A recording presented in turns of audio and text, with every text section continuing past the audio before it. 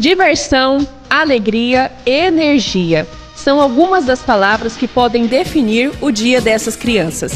A comemoração do Dia das Crianças começou cedo em Confresa. A parte da manhã foi marcada por atividades esportivas, a tarde por atividades recreativas e a presença de personagens infantis. Está sendo um dia maravilhoso, que as crianças não precisam só de estudar, precisam de lazer e está sendo um dia encantador, que o mundo Disney, como dizem, né? Tá todos os super-heróis, a Minnie, o Mickey, assim, tá sendo maravilhoso.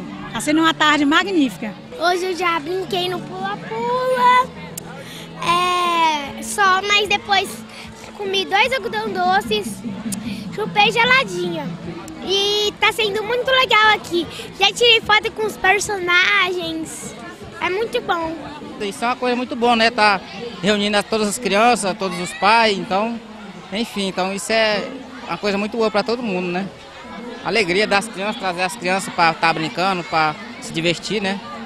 Então, tipo assim, a minha opinião que eu tenho é sobre isso, é muito bom, então. O que, é que você achou, Ana Clara? Já tirou foto com algum personagem? Tirou. Com quem? Com o Hulk. O que, é que você achou do Hulk? Bom. É? Ficou com medo, não? Não. E você já tirou foto com algum personagem aí? Com o Hulk. E ele é forte? Ficou com medo, não? Não. Você é um cara corajoso, então?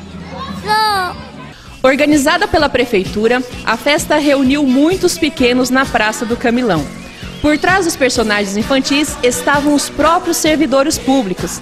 A Mini, por exemplo, era a secretária de Assistência Social Leidiane de Freitas, que, disputada na hora das fotos, pôde sentir de perto todo o carinho das crianças. Sim, não tem sensação melhor. Ah, por mais que você esteja caracterizado, você sentir o carinho das crianças é, é gratificante. E assim, para a gente é uma emoção, é um prazer imenso poder estar aqui. Nós fizemos essa festa em parceria, todas as secretarias se reuniram para fazer esse evento, claro que com o aval do nosso prefeito, né?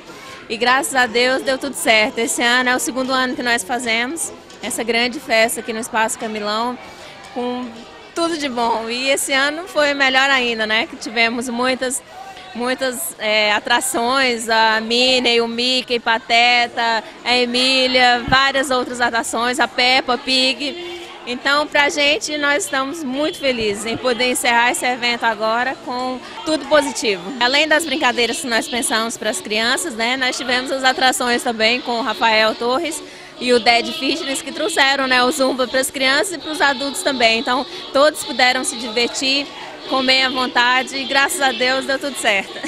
A comemoração foi pensada e programada com antecedência.